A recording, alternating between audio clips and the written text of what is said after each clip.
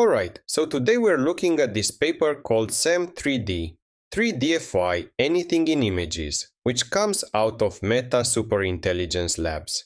Now, you might remember the original Segment Anything model, or SAM, which was a huge deal for 2D segmentation.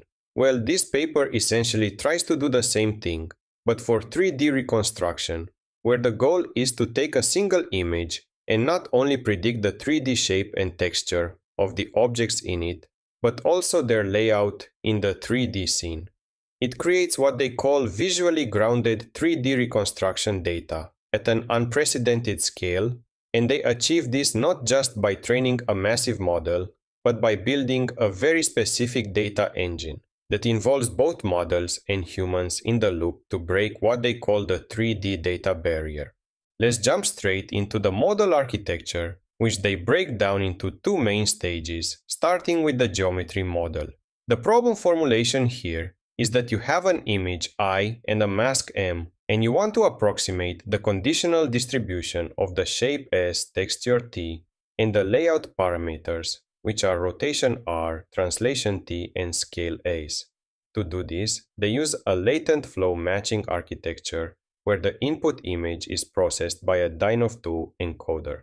They actually encode two versions of the input, where one is a cropped view of the object to get high resolution details, and the other is the full image to capture the global scene context and occlusion cues which is pretty important when you are dealing with messy real-world images.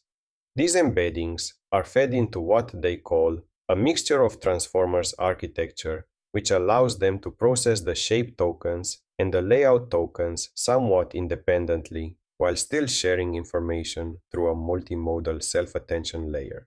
Once you have that coarse geometry, the system passes it to the second stage called the texture and refinement model, this takes the active voxels predicted by the first stage and uses another sparse latent flow transformer to refine the geometric details and synthesize the object texture. What happens here is that they condition this refinement model on the image and mask again, and the output is a set of latent representations that can be decoded into either a mesh or 3D Gaussian splats depending on what you need. Now, the architecture is solid, but the real contribution of this paper is how they train it. Because good 3D data paired with images basically does not exist at this scale. They use a multi-stage training recipe that starts with synthetic pre-training, where they use renders of isolated objects from datasets like Objaverse to learn the basics of shape and texture. Then they move to what they call mid-training, which is really cool because they use a technique called render and paste, or RP3DO.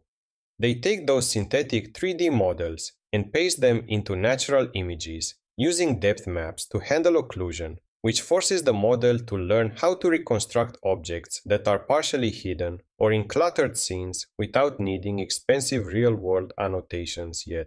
After the model has learned some priors from synthetic data, they move to post-training, which involves a model in the loop or MITL pipeline. The insight here is that while humans are terrible at creating 3D meshes from scratch, they are actually quite good at looking at a few 3D options and telling you which one looks best. So they generate multiple candidate meshes using their model or retrieval methods and show them to human annotators who simply rank them or select the best one. This turns a generation task into a verification task, which is much faster and scalable, and allows them to collect millions of preference signals, which they then use to fine tune the model using supervised fine tuning and direct preference optimization, or DPO. But there is a catch because sometimes the model is just bad and all the candidates are garbage, so the humans have nothing good to pick. To solve this, they introduce stage 2.5 where they route the hardest examples to actual professional 3D artists who manually create the ground truth meshes. This is expensive, so they only do it for the tails of the distribution, but it sees the model with high quality data in areas where it struggles, which creates a flywheel effect. As the model gets better, it produces better candidates for the general annotators which leads to better data and an even better model in a virtuous cycle. In terms of results, they evaluate this on a new benchmark they collected called SA3DAO, which consists of artist-created meshes for real-world images. The quantitative metrics show that SAM3D significantly outperforms recent baselines like Trellis and Hunyuan 3D, especially on metrics like volume IOU and chamfer distance. Qualitatively, the reconstructions look much more consistent with the input image, especially in terms of handling occlusions, where other models tend to just produce broken geometry or floaters. And that basically wraps up this video. Thank you so much for watching. If you found this explanation helpful, give it a thumbs up, share your thoughts in the comments, and subscribe to stay up to date with everything I post on this channel. See you in the next one. Bye bye.